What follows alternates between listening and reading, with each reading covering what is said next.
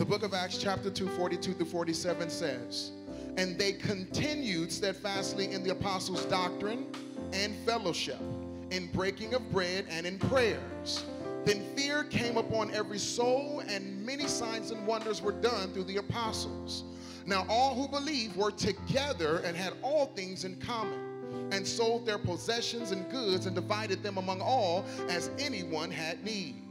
So continuing daily with one accord in the temple and breaking bread from house to house, they ate their food with gladness and simplicity of heart, praising God and having favor with all the people. And the Lord added to the church daily those who were being saved.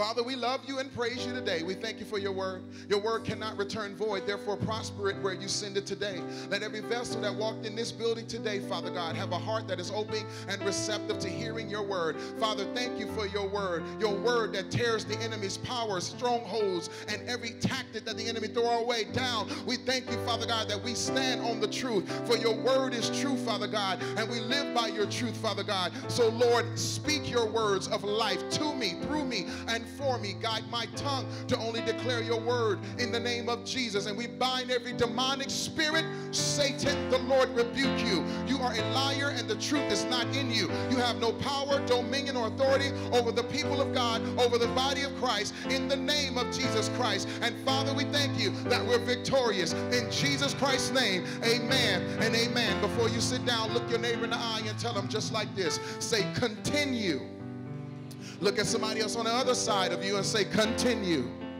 Hallelujah. Give God a praise in this house. As you have your seats in the presence of the most high everlasting Lord. Thank you, Holy Spirit.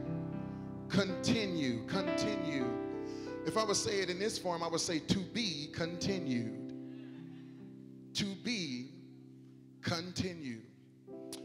Here in the Word of God, as you see in the text, amen, you will see that as the Bible tells us earlier in the first two chapters here, you will find that Jesus spoke to the disciples.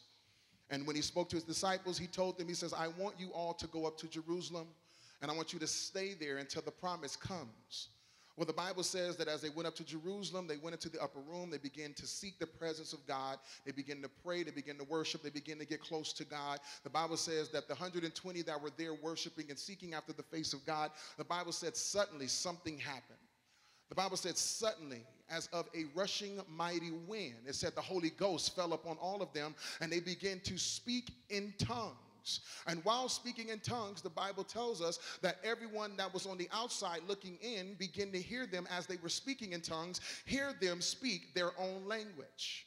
And as they heard this, the Bible says that some of them had questions and saying, Something is going wrong here. Some of these guys must be drunk. Something is wild going on. And Peter, under the influence of the Holy Ghost, stood up and began to preach the good news and the gospel unto every vessel that was there that had an ear to hear what the Spirit was saying through him. The Bible says that Peter began to speak to them and tell them that the word of God has been fulfilled. Amen. The word that was spoken through the prophet Joel, that on all of your sons and daughters, he says they will begin to prophesy because my spirit will be poured out upon them. It says that older men will have dreams and young men visions, and it talks about the visions and the different dreams that God is going to release after the impartation of the Holy Spirit. Well, while preaching and teaching them, he also began to talk about David. He talked about how David, being God's chosen king to sit on the throne, because David was a man after God's heart. He was not perfect, but he knew how to pursue God even when he made bad decisions, even when he made bad mistakes. David knew how to pursue God. God made a promise to David. And the promise he said was that your throne will last forever. There will always be someone who sits on the throne of David. And he was prophesying that to David, telling David that the Messiah, Jesus, will be on the throne and establish eternal reign. Do I have anybody in the house that know our Savior established his eternal reign?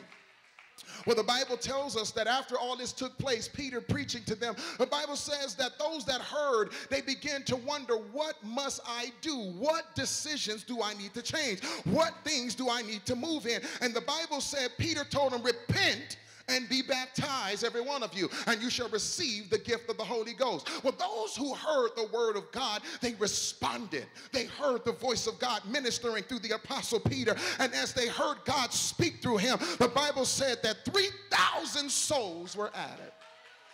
You know, when people start hearing from God and start speaking what God tell you to speak and start doing what the Lord tell you to do, that's when you see a major explosion take place. Something huge will begin to manifest in the lives of people who are willing to say, God, I heard you say change it. I'm willing to do it. I heard you say move and I'm ready to move. I heard you say stop and I will stop. I heard you say pursue and I'll pursue. When people hear the voice of God and obey God and do what God tells them to do. The Bible says 3,000 were added. I'm telling somebody in here that God wants to add to your life if you would hear what the Spirit is saying this morning. There's interesting, it's interesting, it's interesting, spiritual family and friends. It's interesting on how we all, as believers, we tend to respond to things differently. Because the Bible says that out of all the people that were actually there, it was only 3,000 that were actually added.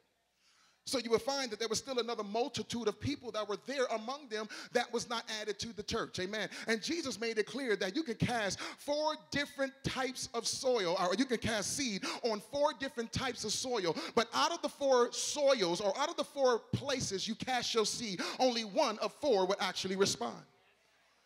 So it's very interesting on how this actually worked 3,000 being added. And, and, and I found that in the text that even after 3,000, even after people hear and believe the word, even after people receive what God tells them, even after people come to church on Sunday, get an impartation, get a deliverance, get a breakthrough, even after a seven days of praise, uh, people get something huge, something major, an open door, somebody get healed, kids rise up and begin to move into a new place. I mean, even after all of this, the problem with the church is that after the Sunday breakthrough, after the Wednesday night impartation, after we drink from the well and get some good fresh water and get good blessings and get manifestations of God's presence, after we get all of this, we stop.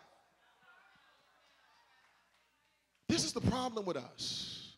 Is we plead our case with God. We say, God bless me. We plead our case with God and say, God, touch my family. We plead our case with God and we say, God, open the door. We plead, we cry, we, we go before Him. We say, please help, please do, please open the way, please make the way, please open the way. We beg God. Beg Him so good to the point where God say, I'm going to bless you.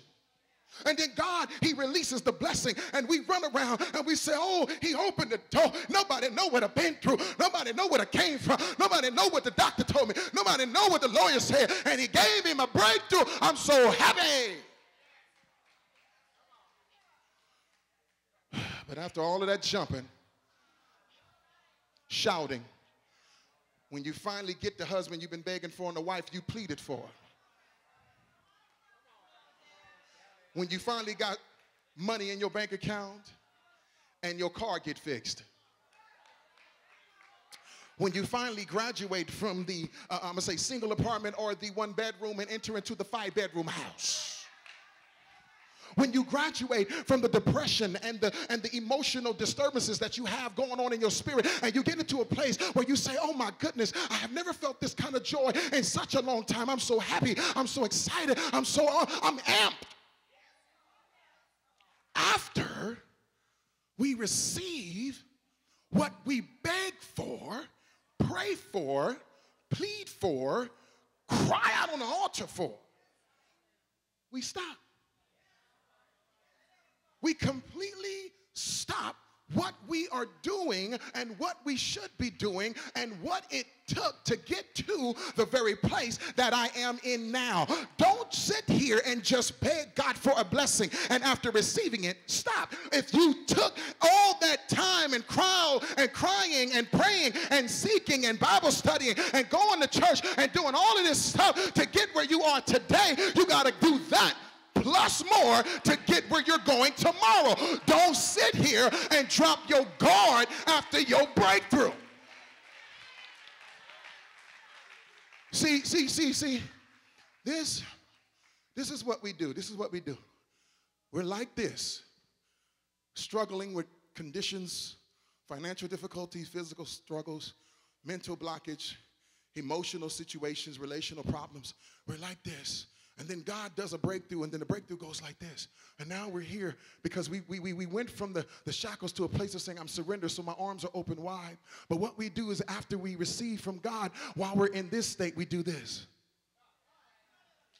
Oh, I finally made it through this hardship, this pain, this suffering, this circumstances. Instead, what we need to learn to do is this we need to go from here to here, from here to here, and stay here. You got to keep your focus high, keep your praise high. Keep your hands lifted. Keep your eyes on Jesus, who is the author and the finisher of your faith. My Bible says this after the Holy Ghost shook the place, 3,000 were added, and they continued steadfastly in the apostles' doctrine.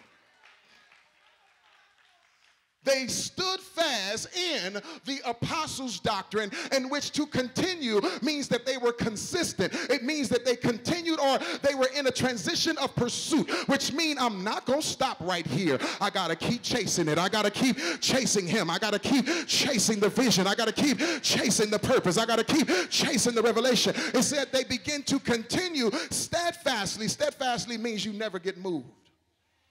Touch somebody and say, neighbor, things will try to move you out of place. You come out of a seven days of praise, the enemy gonna come and try to move you out of place.